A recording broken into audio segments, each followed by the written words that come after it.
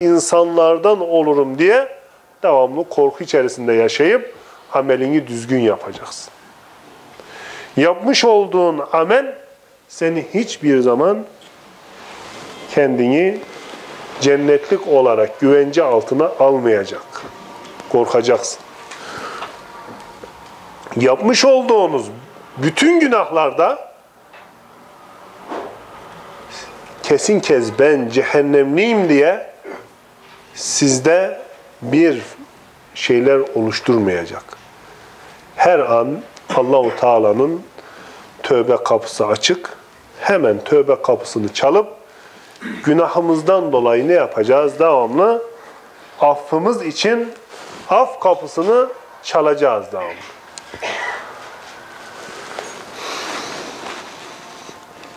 Evet. Ve izâ merida. Bir kişi de hastalandığı zaman diyor Resulullah Aleyhisselatü Vesselam Efendimiz bir kişi hastalandığı zaman onu ziyaret edin. Bu da Müslümanın Müslüman üzerindeki haklarındandır. Hasta oldu, Müslüman kardeşimizi ziyaret edeceğiz. Ama toplumda şimdi bu da çok önemli. Değil hastaları, hasta Müslüman kardeşimizi ziyaret etme, en yakın akrabamızı bile ziyaret etmiyoruz. Allah'ın rahmeti üzerimizden kalkmış. Halbuki sile-i rahim çok önemli bir fiildir. Yüce Rabbimiz Celle Celaluhu kutsu hadis-i şerifte sile-i rahimden kesilenden ben de kesilirim. Yani Allahu Teala'nın kesilmesine onun rahmetinin o kişi üzerinden kalkması demektir. Bu da şu anda toplumda çok yaygın. Bakıyorsun ki bütün akrabalar arasında husumat var. Birbirine gidip gelme bitmiş. Hürmet saygı bitmiş. Büyük ve küçük tanınmıyor. Böyle bir hal almış. Bu da bizi Müslüman olarak manen çökerden büyük unsurlardan bir tanesidir değerli kardeşlerim. Halbuki sile-i rahim yapma da çok kolaylaştı. Eskiden arabalarımız yoktu. Şu anda arabamız var. Eskiden günlerce gittiğimiz yolu şu anda bir saatte gidiyoruz. Eskiden haberleşemediğimiz noktada şimdi hemen cebimizde telefonumuz var. Bir anda çıkarıp haberleşebiliyoruz. Ulaşamadığına ancak telefonla bir nasılsın de ya. Halını hatırını sor. Bundan dahi aciz olmuşuz kardeşlerim. Her şeyimiz menfaat olmuş. Menfaatimiz varsa, çıkarımız varsa telefonu alıyoruz, arıyoruz adamı. Nasılsın kardeşim, iyi misin filan filan. Arkasından diyor ki ya şu ihtiyacın var acı bunu gör. Ama o ihtiyacın yoktursa da adını bile anmıyoruz adamın. Bunun kadar ki sile-i rahim yönünde çok gerideyiz. Toplum üzerinden bunu yapmaktan çok aciziz kardeşler. Onun için bak Resulullah Aleyhisselatü Vesselam Efendimiz hasta olduğunuz zaman bir hastayı ziyaret etmek de Müslümanın Müslüman üzerindeki haklardandır. Biz de ziyaret edelim. Hastalarımızı ziyaret edelim. Konu komşumuzu ziyaret edelim. Akrabalarımızı ziyaret edelim.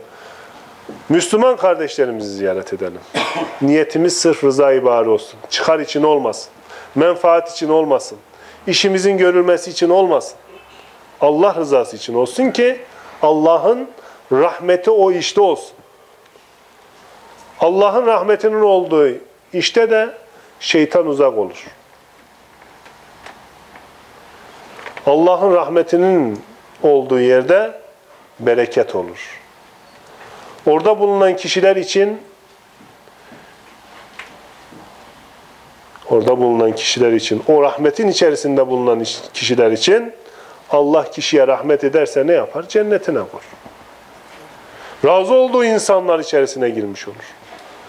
Razı olduğu insanlar ne yapar? Sonunda ebedi olan cennete vasıl olur inşallah. Rabbim cümlemizi bu fiilleri hakkıyla yerine getirip gerçekten Müslüman, Müslümanın üzerindeki hakları bilip yerine getirenlerden eylesin. İzâ mâte fettebi'hu. Bir de öldüğü zaman onu ne yapsın? Cenazesinde bulunsun. Bu kesilmiyor elhamdülillah. Genelde ölen oldu mu elhamdülillah bakıyoruz. Kendi kendine görev biliyor. Muhakkak oraya katılma, o cenazede bulunma hissiyatını kendine görev biliyor. Bunu görüyoruz elhamdülillah. Bu devam ediyor. Rabbim inşallah bu amelleri yerli yerinde yapan insanlardan eylesin cümlemizi.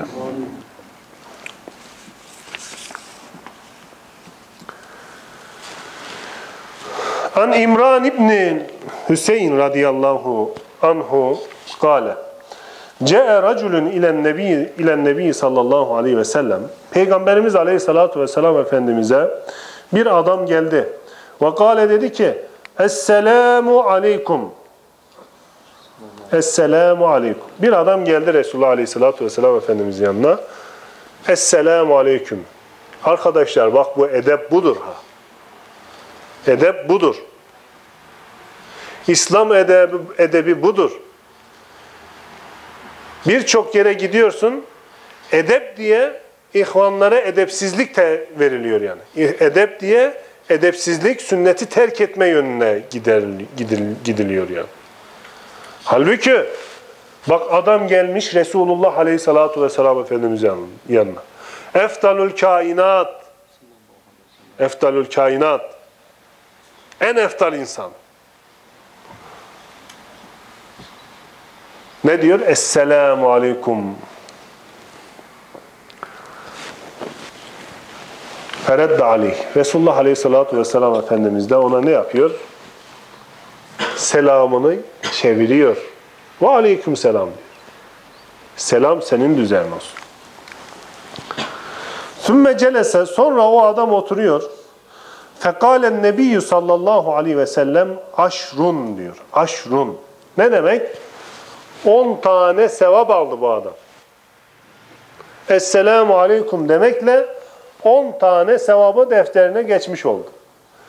Değerli Müslüman kardeşlerim, eğer bir Müslüman niyetini güzel aldığı takdirde sabahtan akşama kadar bütün yaptığı şeyleri ibadete çevirebilir. Akşamdan sabaha kadar da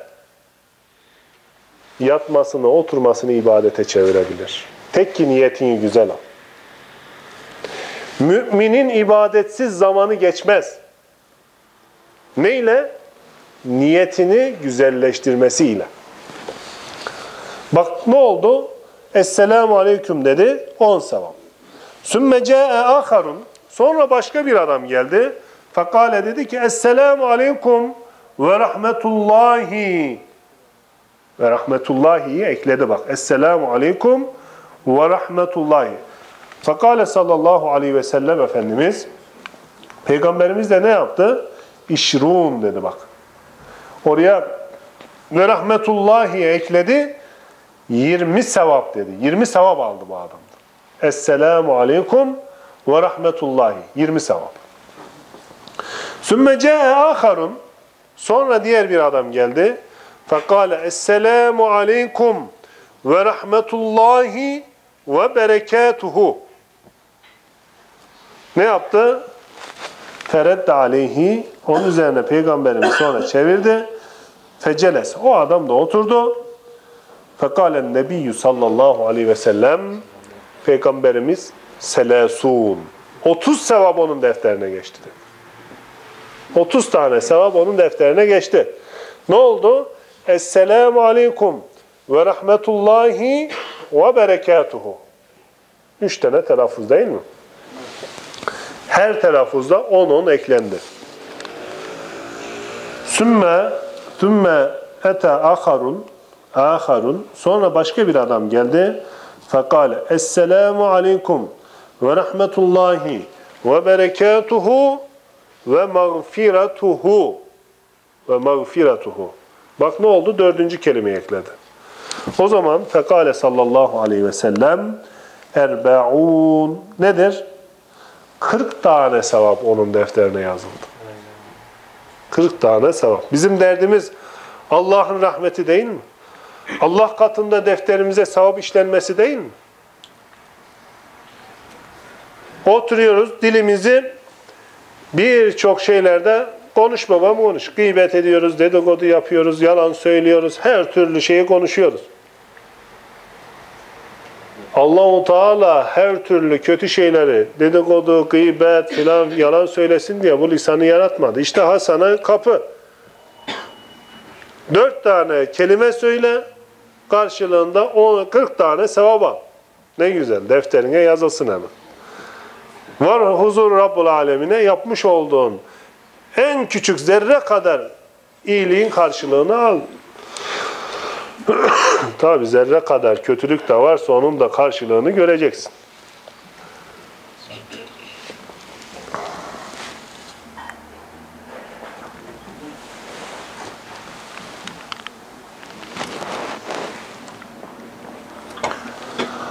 Yine an Ebi Hureyre radıyallahu anhu kal Ebu Hureyre radıyallahu anh'tan rivayet olunan hadis-i şerifte Kale Resulullah sallallahu aleyhi ve sellem.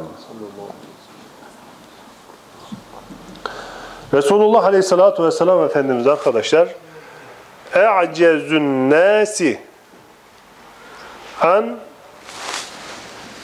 men aceze fid dua. İnsanların en acizi, en işe yaramazı selam vermekten aciz olan kimse. Tamam mı arkadaşlar? Bak Resulullah Aleyhisselatü Vesselam. Sizin en aciziniz, en düşkününüz diyelim.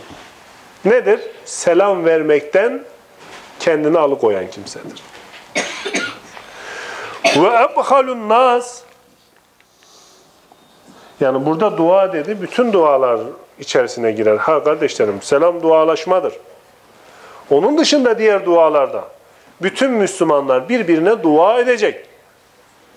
Eğer bir Müslüman kardeşine dua edemiyorsan aciz insansın. Karşılaştığın zaman selam veremiyorsan aciz insansın. O hasta olduğu zaman hastalığı için dua edemiyorsan, sıkıntıya düştüğü zaman sıkıntısının giderilmesi için dua edemiyorsan işte aciz insansın ya.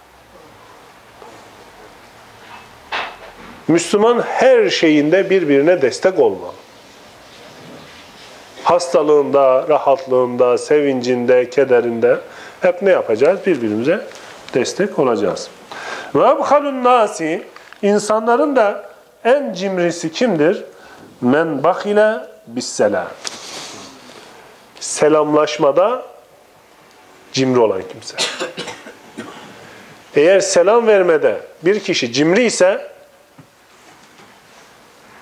nedir? O kişi cimri olan kimsedir. Cimri de kimdir? El-bahilu aduvullah. Cimri kişi Allah'ın düşmanıdır. Es-sahiyyu habibullah. Cömert kişi de nedir? Allah'ın dostudur değerli kardeşler.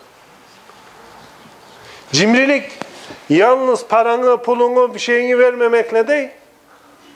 Bunlarda da cimrilik oluyor. Müslüman kardeşinle karşılaştığın zaman selam vermiyorsan cimri insansın. Dua etmiyorsan aciz insansın. İlim ehlisin ilmini insanlara aktarmıyorsan cimri insansın. Malın var, malın zekatını vermiyorsan cimri insansın. Cimri de kimdir? Allah'ın düşmanıdır. Cömert olan insanlar ise her şeyimizde cömert olacağız. İlmimizde cömert olacağız, malımızda cömert olacağız. Her yönümüzde cömert olacağız. Her isteyen istediğini bizden bulacak inşallah. İşte o zaman Allah'ın dostu oluruz değerli kardeşlerim. Son bir hadis-i şerifle de inşallah dersimizi tamamlayak. An Cabir radıyallahu anhu kâle kâle Resulullah sallallahu aleyhi ve sellem Resulullah aleyhissalatu vesselam Efendimiz yüsellimul yüsellimur rakibu alel meş Kim kime selam verecek? Yüsellimur rakibu alel meşi. Yürüyen kişi kime selam verecek? Binili olan kişinin üzerine selam verecek. Yani pardon yanlış söyledik. Yüsellimur rakibu binili olan kişi alel meşi. Diyelim ki yürüyen kişiye ne yapacak? Selam verecek. Yürüyenin üzerine selam verecek. Yanlış söyledik ilk önce. Yani arabayla gidiyorsun. Arabayla gittiğin yerde yolda adam yürüyerek gidiyor. Sen ondan selam beklemeyeceksin. İlk önce verme hakkı sana, senindir. Sen ona selam vereceksin. Vel maşi alel kaidi. Sen yürüyen yürüyerek gidiyorsun. Oturan kişiler var. Selam verme hakkı senindir. Sen o oturanlara selam vereceksin. Vel maşiyani eyyuhuma beda fehuve eftar. E peki her iki kişi yürüyen yürüyen durumda ise yürüyor ise bunun hangisi birbirine selam vermekte daha eftaldır? Hangisi daha evvel selama davranırsa eftaliyeti ne olmuş olur? O almış olur. Yürüyenlerde üstünlük hakkı yok. Yani hangisi erken davranırsa o eftaliyeti o almış olur. Selam da arkadaşlar son bir kelamla bitirelim. Bazı ibadetler var ki, farziyetler var ki farzın üstünde hiçbir şey yoktur değil mi? Eftaliyet olarak, sevap olarak. Ama bazı sünnetler de var ki yapıldığı zaman, ilk önce yapıldığı zaman farziyetin üstünde sevabı. İşte onlardan bir tanesi de selam kardeşler. Tamam mı? Sen selam verdiğin zaman ne yapıyorsun? Sünnet işliyorsun. Alan farz-ı kifaye işliyor. Sevap yönünden kim daha üstün? Selamı ilk veren kimse daha üstün. Daha çok sevap alıyor. Onun için Rabbim cümlemizi bu Müslümanın Müslüman üzerindeki hakkı olan altı hakka en güzel bir şekilde cümlemizi uymayı nasip eyliyor. Müslüman olarak birbirimizin üzerindeki hak ve hukuku yerine getirenlerden eyleye, ulaşamadığımız, yapamadığımız bütün fiillerimizde de inşallah Rabbim affeyleye. Velhamdülillahi Rabbil Alemin. El Fatiha.